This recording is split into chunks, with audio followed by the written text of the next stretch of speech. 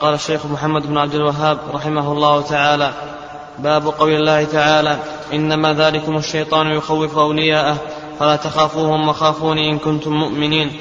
وقوله إنما يعمر مساجد الله إنما يعمر مساجد الله من آمن بالله واليوم الآخر وأقام الصلاة واتى الزكاة ولم يخش إلا الله. الآية وقوله ومن الناس من يقول آمنا بالله فإذا أوذي في الله جعل فتنة الناس كعذاب الله. الآية وعن أبي سعيد رضي الله عنه مرفوعا إن من ضعف اليقين أن ترضي الناس بسخط الله وأن تحمدهم على رزق الله وأن تذمهم على ما لم يؤتك الله. إن رزق الله لا يجره حرص حريص ولا يرده كراهية كاره. وعن عائشة رضي الله عنها أن رسول الله صلى الله عليه وسلم قال من التمس رضا الله بسخط الناس رضي الله عنه وأرضى عنه الناس ومن التمس رضا الناس بسخط الله سخط الله عليه وأسخط عليه الناس. رواه ابن حبان في صحيحه. بسم الله الرحمن الرحيم. الحمد لله رب العالمين والصلاة والسلام على نبينا محمد وعلى آله وصحبه أجمعين. قال رحمه الله تعالى باب قول الله تعالى إنما ذلكم الشيطان يخوف أولياءه فلا تخافوهم وخافوني إن كنتم مؤمنين. هذا الباب يعبر عنه بباب الخوف يعني يعبر عنه بباب الخوف ومناسبة هذا الباب لكتاب التوحيد ظاهرة. فإن الخوف عبادة من أجل العبادات وأفضل القربات التي يجب صرفها لله عز وجل. وصرف هذه العبادة لغير الله عز وجل هذا شرك. ولهذا سيأتينا عند الكلام على أقسام التوحيد أن من أقسام التوحيد ما يكون شركا أكبر ومنه ما يكون شركا أصغر ومنه ما يكون بدعيا منه ما يكون خوفا بدعيا كما سيأتي إن شاء الله بيانه. ومناسبة هذا الباب لما قبله ظاهرة فان المؤلف رحمه الله تعالى تكلم عن باب المحبة ثم بعد ذلك تكلم عن الخوف. نعم تكلم عن الخوف. نعم. وذلك أن العبادة تقوم على أمرين على الخوف والمحبة. ففي المحبة امتثال الأوامر وفي الخوف اجتناب النواهي. فالمناسبة ظاهرة يعني بين البابين. قال رحمه الله تعالى إنما ذلكم الشيطان. إنما هذه أداة حصر. إنما أداة حصر والشيطان علم على إبليس. عادنا الله من شره. والحصر إثبات الحكم أو إثبات حكم أو إثبات الحكم المذكور ونفيه عما سواه. إنما ذلكم الشيطان يخوف أولياءه يعني يخوفكم بأوليائه ويوهمكم بأنهم ذو قوة وبأس. نعم. فلا تخافوهم يعني لا تخافوا أولياء الشيطان وإنما خافوا من الله سبحانه وتعالى وهو الذي يستحق أن يخاف منه. وخافوني إن كنتم مؤمنين. إن شرطية. إن كنتم مؤمنين فخافوني. فالله سبحانه وتعالى اشترط للإيمان أن يكون الخوف من الله سبحانه وتعالى. وألا يخاف أولياء الشيطان. الشاهد من هذه الآية لما ترجم به المؤلف رحمه الله أن قوله فلا تخافوهم وخافوني إن كنتم مؤمنين فإن الله سبحانه وتعالى اشترط للإيمان أن يكون الخوف ممن منه سبحانه وتعالى. وكذلك أيضا أنه لا يخاف غيره سبحانه وتعالى وإنما الخوف له سبحانه وتعالى.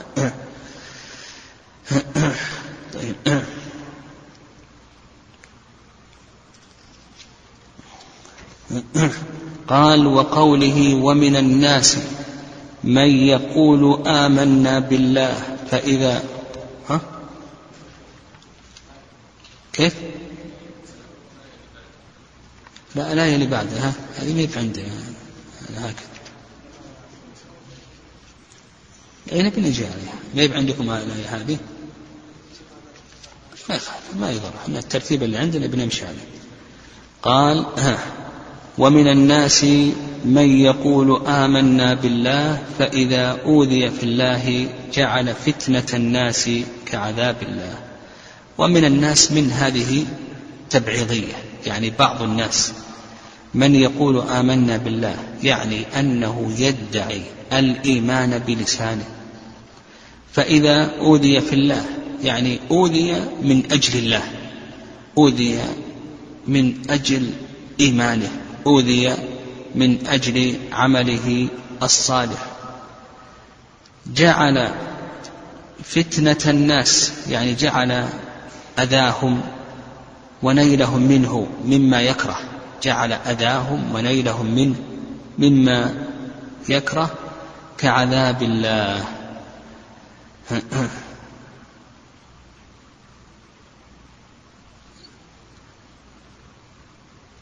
يعني جعل أذى الناس وما يحصل له مما يكره كعذاب الله. بمعنى أنه فر من أذاهم إلى الارتداد عن دينه.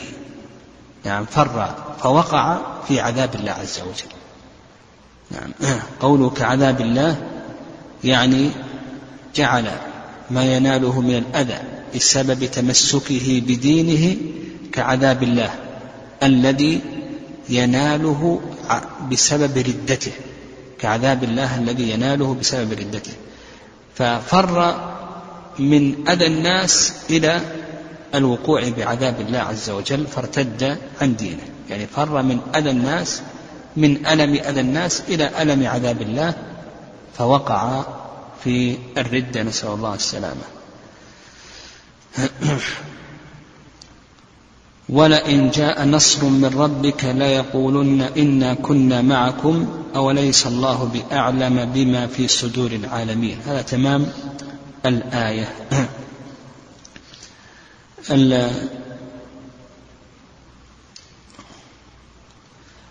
الشاهد من هذه الآية أن الله سبحانه وتعالى ذم من هذه صفته الذي يخاف من الناس يخاف من أذى الناس.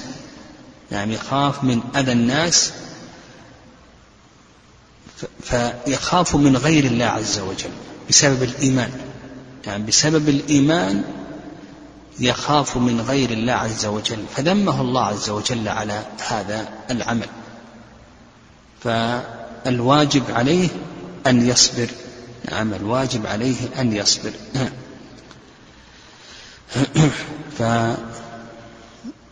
فالخوف من الناس بسبب الإيمان من جملة الخوف من غير الله عز وجل. فهذا مذموم يعني كونه يخاف من الناس وأنه سيحصل له أذى بسبب إيمانه هذا الخوف خوف مذموم لأنه خوف من غير الله عز وجل. قال وقوله إنما يعمر مساجد الله من آمن بالله واليوم الآخر وأقام الصلاة. وآتى الزكاة ولم يخش إلا الله. إنما يعمر مساجد الله. من آمن بالله.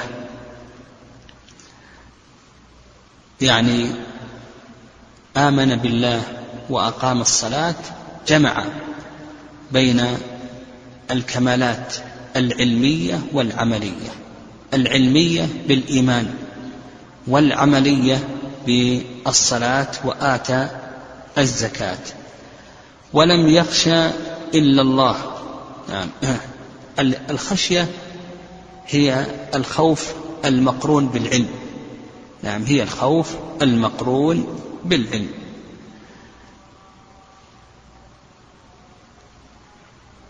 الشاهد من هذه الآية أن الله سبحانه وتعالى قال ولم يخش إلا الله. فالله سبحانه وتعالى أثنى على الذين يخافون من الله سبحانه وتعالى وحده ووصفهم بأنهم عمار المساجد. نعم. هم الذين يعمرون المساجد بالعبادة والطاعة. فدل ذلك على أن الخوف من الله عز وجل هو الخوف المأمور به.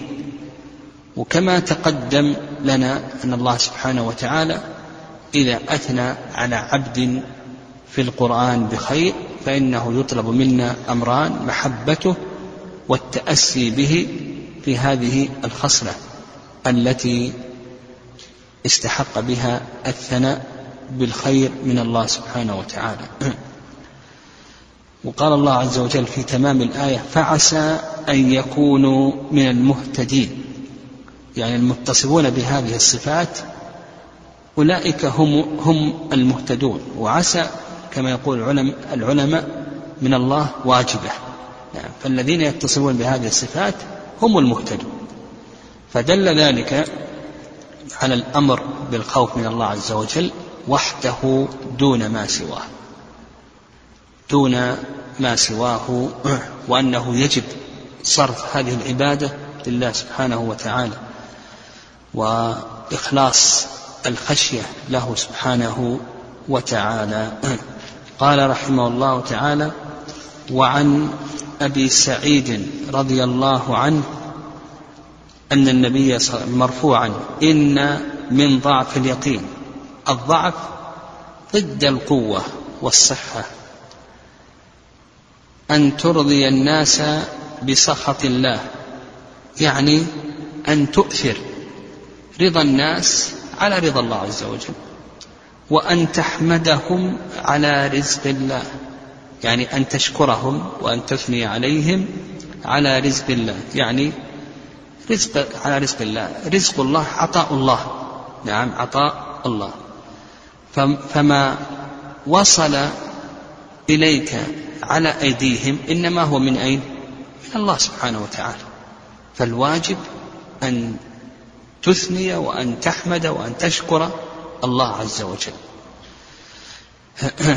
فالواجب أنك تضيف النعم إلى الله عز وجل وأنك لا تنسى المنعم والمتفضل الحقيقي الذي هو الله عز وجل. وسيأتينا إن شاء الله باب مستقل بوب له المؤلف رحمه الله فيما يتعلق بإضافة النعم إلى غير الله عز وجل. ومتى تكون شركا؟ ومتى لا تكون شركا. قال وأن تذمهم على ما لم يؤتك الله. يعني إذا طلبت منهم شيئا فمنعوك ذممتهم على ذلك. نعم. فكونك تقوم بذنبهم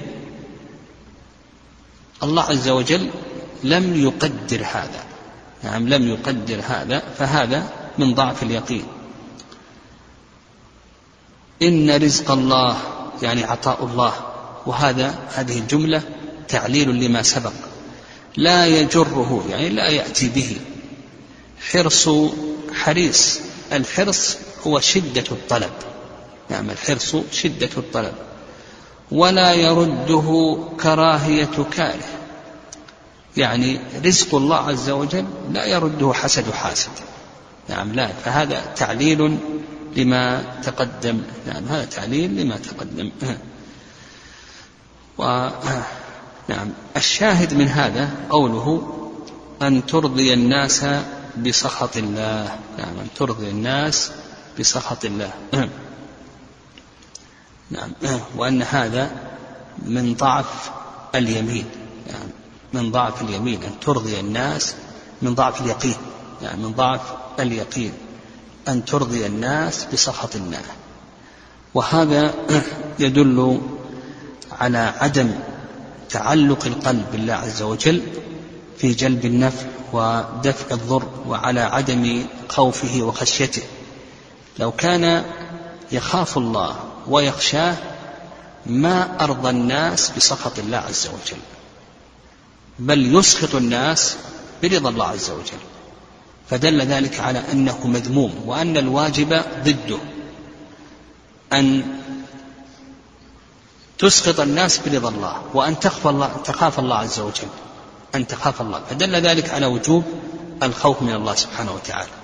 دل ذلك على وجوب الخوف من الله سبحانه وتعالى. طيب إن شاء الله نكمل ما تبقى. بإذن الله